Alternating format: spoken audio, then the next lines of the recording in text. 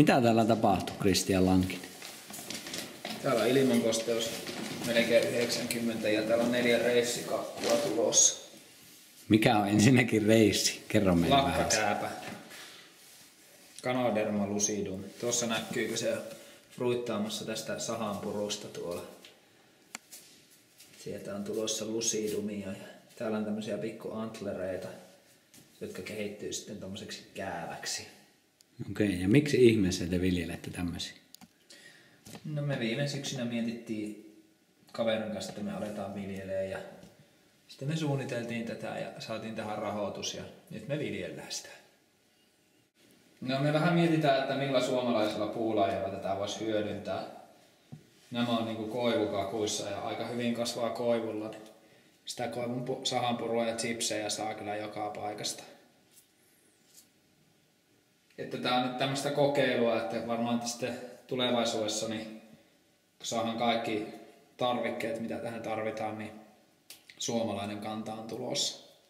Mikä on teidän tavoite tässä hommassa? No oppia tämä, että miten me saadaan tämä toimimaan ja sille, että tämä olisi Tää teltta olisi täynnä noita kakkuja.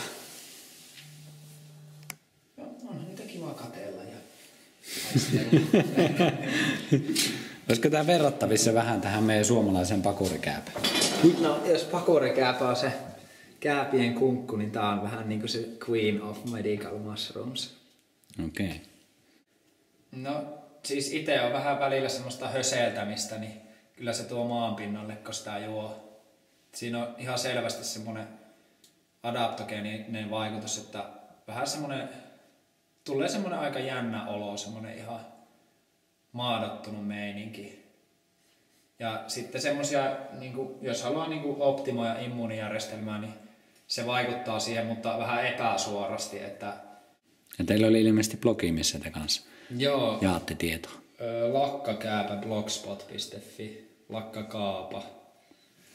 Hämmentävät muuraukset jatkuu ja Lankinen ja kumppanit on edelleen täällä työn tohinoissa. Mitä täällä nyt touhuilla? Täällä on rakettiuunin prototyypin eristys. ja nyt tuli nousee heti kysymys, mikä ihmeen rakettiuuni?